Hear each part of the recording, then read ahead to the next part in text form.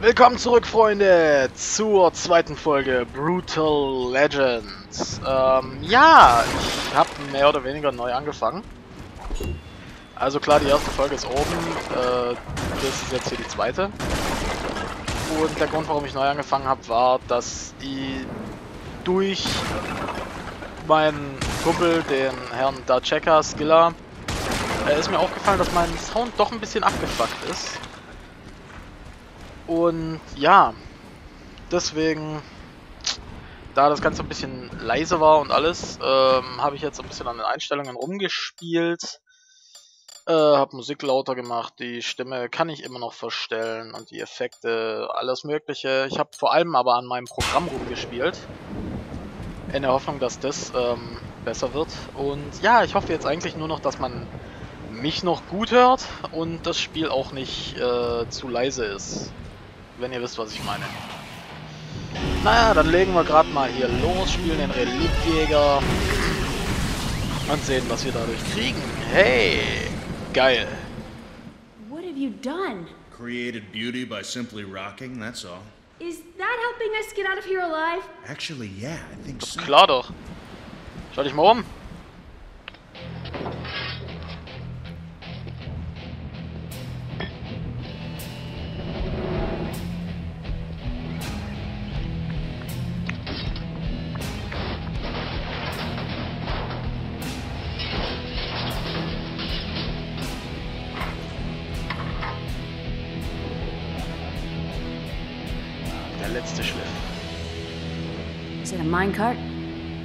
Druid Plow. Let me show you how it works. What you do, you slam it into goo, hoo, hoo, hello.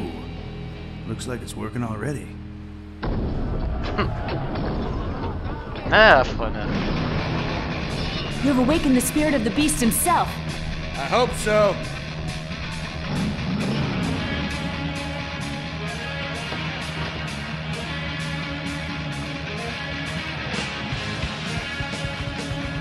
Und los geht's.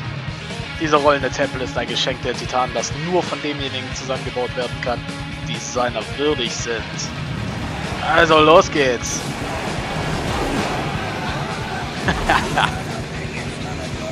We need to reach the bridge before they shut the feeding area gates. Feeding area? What are they feeding? If we get there fast enough, you might not need to find out. Um, what's up with Crazy Legs? They've called in reinforcements. Why such a large force? What? Maybe because we're badasses. Or maybe Emperor What's His Name has something against you. Okay, I haven't mentioned it yet, but this place is nuts. Yes, these are dark times for our land, but there are a few of us fighting to change the way things are. Is that why you've come? To join us and fight for the liberation Oh, of das war humanity? knapp. You know, I don't really know.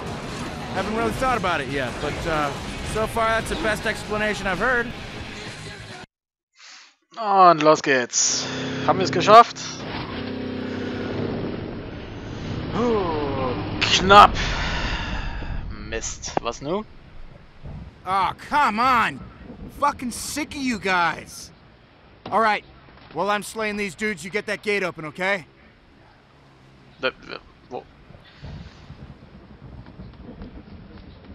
God, she's awesome. Yep, she sure is.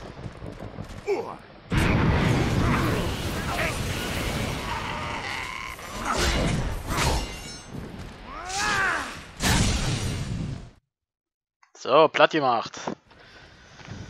So, jetzt warten wir noch auf das Tor und dann ist alles okay.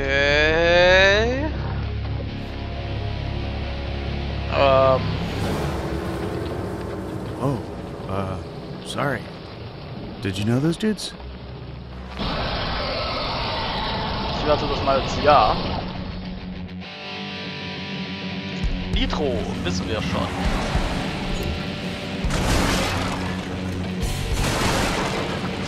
Oh, God!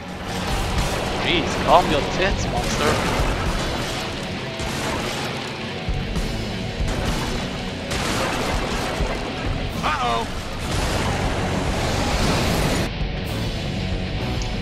Handbremse, kenne ich auch schon.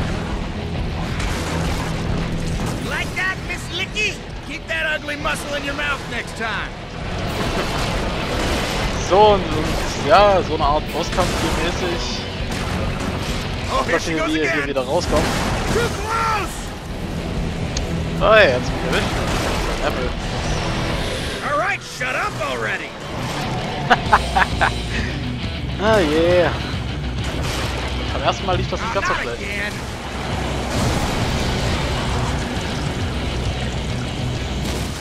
So,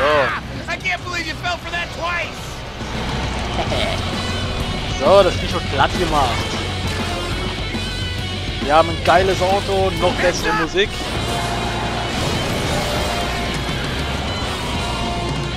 Und wir verfehlen. Na, ah, ne, wir haben bekommen. Auch wenn es knapp war. You'll never French kiss again. What's French kissing? Uh, it's, uh, The, um, gate's open.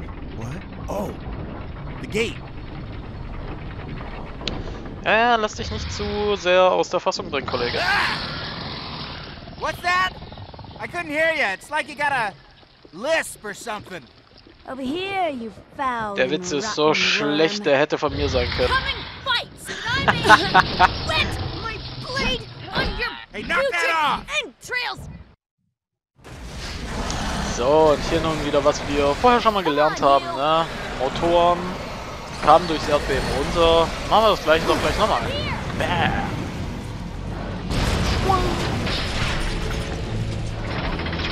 Da!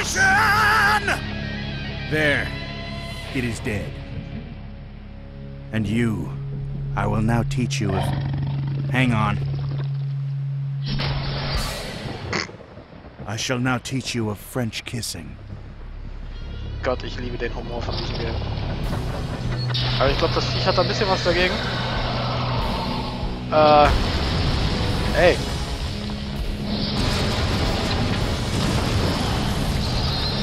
Mann, ey, was- soll das?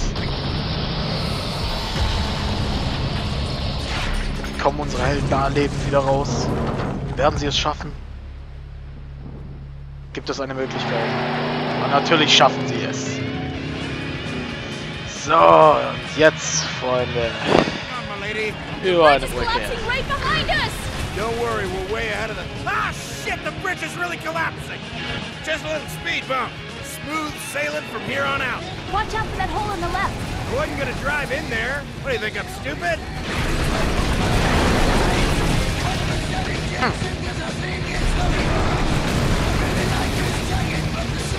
Ja, ja, ja, nicht hängen bleiben. Did you see that? Man, those things are dumb. Take the right side. I was gonna do that. So, boss. Ja, ich bin noch rechts. Keine Sorge. Hey, check out the cool cliffs. Eyes on the road. Uh-oh. The sides. The sides. Ah, rechts hat er schon. Der Himmel sieht geil aus. Ah. Lenkt mich nicht ab, ihr Löcher. Aber schaut euch mal diesen geilen Himmel an. Fette Sonnenfinsternis, sonst was. One Geil, und jetzt ist Now auf einmal weg. Kotzt mich an. Ich hab's ja nicht richtig gesehen. Hell yeah! Gott, damit muss ich aufhören. You like the car? Yeah. Can't wait to show it to Lars. Fucking A. Ugh. Sorry, bro. Life's a bitch. Ja, man, Tod und Vernichtung, so mögen wir das. Ja, was bist du für einer? Diviculus. Was bist du für einer? say it was the fire beast Omogodon himself. No. Far, far worse than me. It was Socoria. I can smell her blood. Du The Fetischist. season of pain is upon us. But why has she returned now? What does she want? War. Finally. Wo sind deine Augen, Alter? Wo ist deine Nase? Viel wichtiger. We should keep moving. We'll be safe in Bladehenge. Here, take this map. Stup.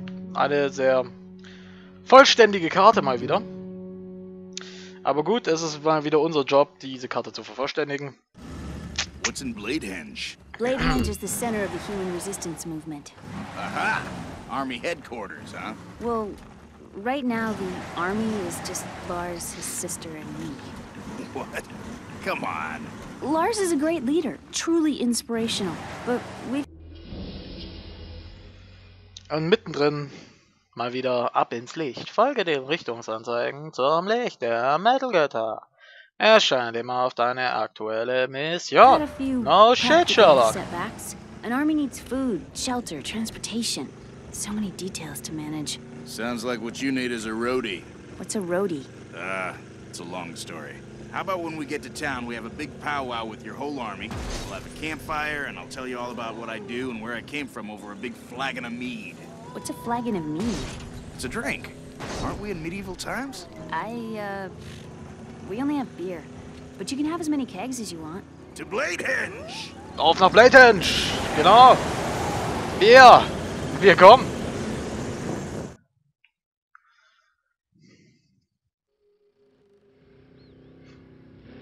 Bäh, wer bist du? Ophelia, what demon have you allowed to follow you home this time? Oh, hello. Don't mind Mein Auto! me. She's Lars's little sister. A little high strung.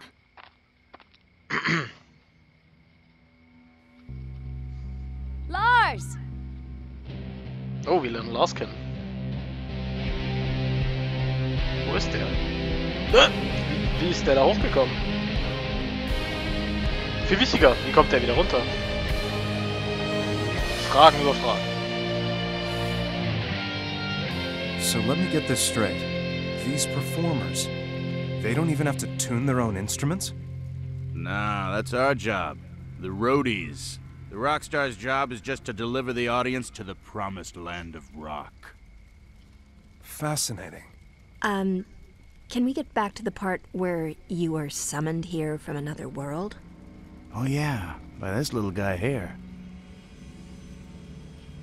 You were brought here by Ormagodon, the eternal fire beast? The cremator of the sky. Destroyer of the ancient world. Yeah, I accidentally got a little blood in its mouth and it totally went nuts on me. Hmm. There are those who speak of a day when Ormagodon the fire beast shall bring a warrior into this world. To destroy us. To deliver us. There is some dispute about the translation, but having met you, I can tell that you are here to help us. To lead us. To wage war against the demons. To liberate humanity. Hell yeah! I mean, hold on a second. I don't know anything about waging war, but uh, I'll tell you what I do know. I know from meeting you, Lars, that you are the true leader here, not me. What I know is how to put a crew together and how to keep it organized and how to take it on the road. That, my friend, is exactly what we need.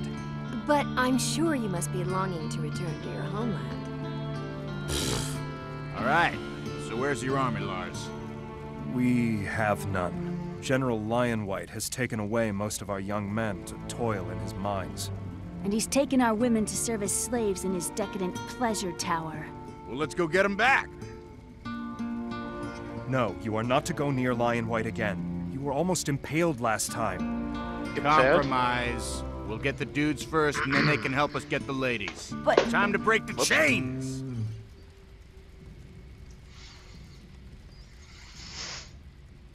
I'll show you the mines, but I think you'll find these chains very hard to break.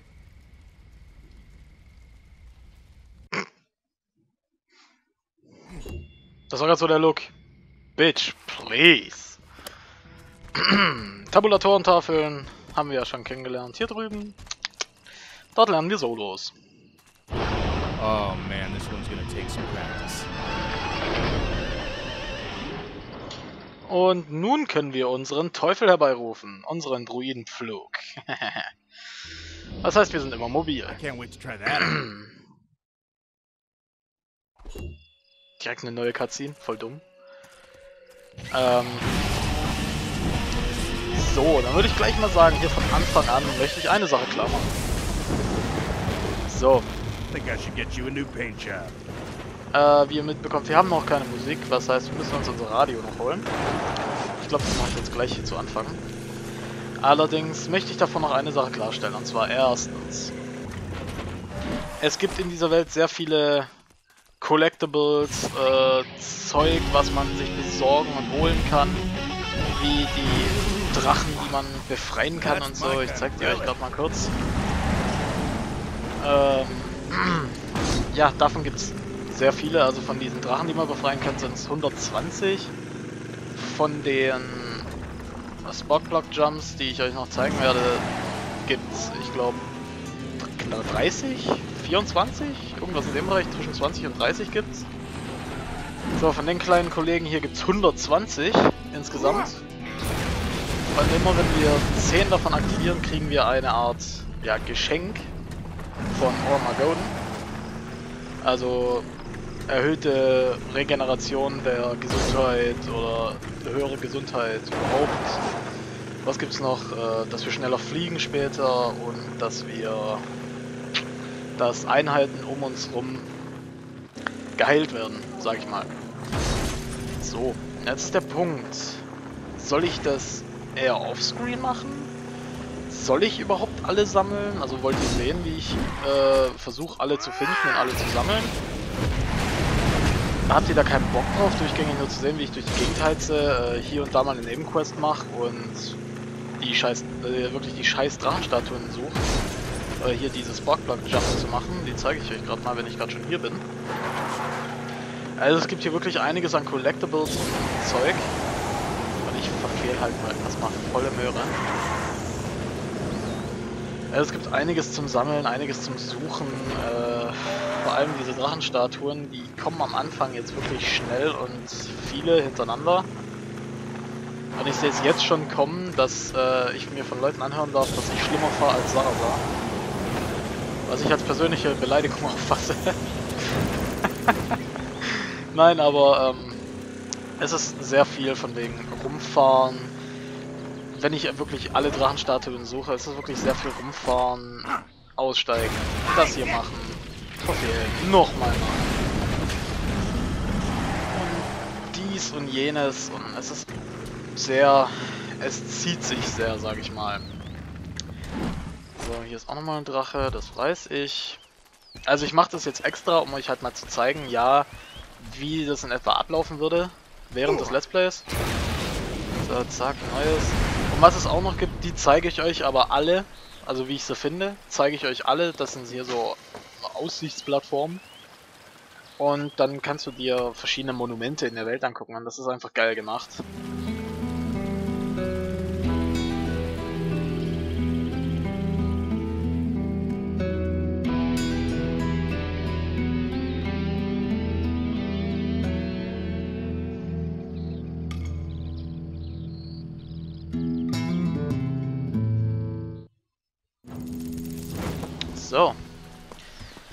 Davon zeige ich euch auf jeden Fall alle. Nur die Frage ist halt wirklich, wollt ihr zuschauen, wenn ich die ganzen äh, Drachen, Schlangen, Dinger suche und sammle? Wollt ihr da zuschauen? Wollt ihr da dabei sein? Soll ich das offscreen machen? Und immer nur, was weiß ich, bei jeder zehnten Mal, wenn ich eine finde, suchen. Soll ich das hier offscreen machen? Weil immer an diesen Blumen können wir unseren Reliktjäger spielen. Und so finden wir in der ganzen Welt verschiedene Songs, oh, die dann zu unserem Radio hinzugefügt werden, was wir halt noch nicht haben. Das kriegen wir in der nächsten Folge. Da gehe ich dann zu Hüter des Metal, von dem ich dann mein Radio bekomme. Mhm. So schaut's aus. Und ja, also es ist halt gerade die Frage, soll ich das im LP machen, alles zeigen, was ich mache. Soll ich es bleiben lassen? Soll ich nur Wichtigeres zeigen? Soll ich es ein komplett lassen? Oder irgendwie... Ja, naja, Sammelparts werde ich nicht machen, das weiß ich jetzt schon. Also so extra Parts, wo ich das Zeug nur sammle, werde ich nicht machen, weil das sich wirklich hinzieht und da habe ich nicht wirklich Lust drauf. Deswegen würde ich es bevorzugen, das entweder im LP zu machen, also alles zu suchen, oder halt einfach nur zu denen zu gehen, die ich unterwegs finde oder die ich sicher weiß, wo sie sind. Oder halt es bleiben lassen und sie ignorieren. Was das Ganze wieder ein bisschen schwerer machen würde. So, Line White kann erstmal weg. So. Da wir noch keinen neuen Kopf haben, können wir erstmal nur Eddie hinpacken, aber das ist ja okay. Eddie ist cool, Mann. Äh, Schlange. Ja, Schlange. So, weit. So, und das war's eigentlich soweit. Jetzt haben wir eigentlich nur noch die Schlange da unten zu befreien, diesen Drachen da. Das Viech da durch die Gegend zu klicken.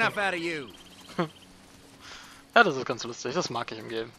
Du kannst eigentlich fast jedes Tier reiten, das ist voll geil. So.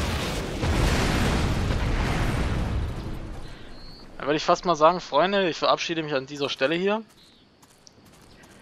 Wir sehen uns in der nächsten Folge. Ich hoffe, es hat euch Spaß gemacht. Ich hoffe, die Soundqualität ist jetzt besser als vorher. Danke nochmal an äh, der Checker, dass er mich mehr oder weniger darauf hingewiesen hat. Eigentlich hat er nur gefragt, ob ich den Sound lauter machen kann. Woraufhin ich mir die Folge eigentlich nochmal angeguckt habe. Wo mir dann aufgefallen ist, hey, scheiße. Deine Stimme ist okay, deine Stimme ist laut, aber das Game hörst du so gut wie gar nicht. Und ja, Deswegen habe ich halt gesagt, komm, machst es komplett neu. Weil es jetzt keinen großen Unterschied macht. Ich war nur bei 12 Parts oder so. Aber egal, egal. Ich habe einen Fehler gemacht und ich habe ihn ausgemerzt. Hoffe ich doch mal. Auf jeden Fall, Freunde, ich hoffe, es hat euch gefallen. Wir sehen uns in der nächsten Folge, wo wir dann den Hüter des Metal besuchen und eventuell schon runtergehen, die jungen Männer zu befreien aus Lion Whites Klauen. Und ja, das wird sich alles noch so ergeben. Und wie gesagt, lasst mich wissen, wie es ausschaut, wie ihr das haben wollt mit den Drachen und dem allgemeinen Sammeln. Ob ihr das überhaupt wollt. Oder halt nebenbei so oder einfach mal so, während ich so Nebenquests mache. Ob ich dann überhaupt später Nebenquests machen soll. Ach übrigens, Nebenquests kann ich schon welche machen. Ich glaube nämlich nicht. Ah, ich kann in der nächsten Folge hier mal kurz rübergehen und gucken, ob ich schon die Ruf der Wildnis Nebenquest machen kann. Das wäre cool. Auf jeden Fall, Freunde, vielen Dank fürs Zuschauen. Wir sehen uns in der nächsten Folge. Macht's gut. Stay frosty, stay awesome. Bis zum nächsten Mal und ciao.